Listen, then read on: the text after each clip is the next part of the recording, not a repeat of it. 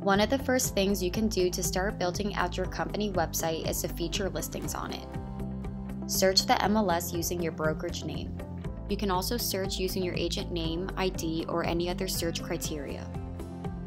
Do this for active listings and use the red Save Search button to save the results.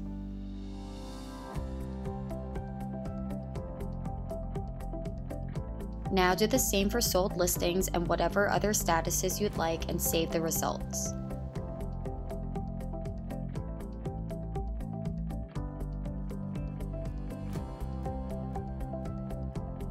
Head to the Properties menu up top and click Save Searches. Click on the search to edit it and to save its location to your company website.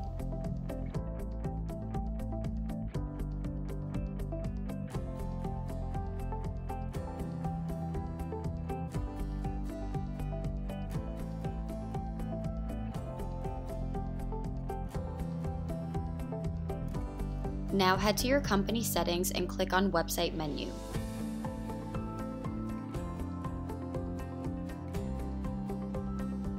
Make sure to toggle on properties under the main menu visibility. Here's an example of what your listings on your company website menu will look like.